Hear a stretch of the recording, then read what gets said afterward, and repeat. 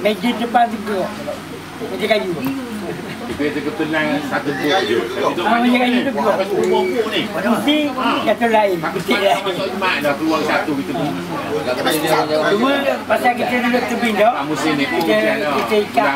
Eh, Tadi kacang. Eh. Ikat tengah pokok atas. Tapi bagi kita ikat. Jadi macam kita macam buah lah dia. Ah, dia Cuma kita letak depan belakang lah. Hak ni takut eh. Tolak anu pada saya siapa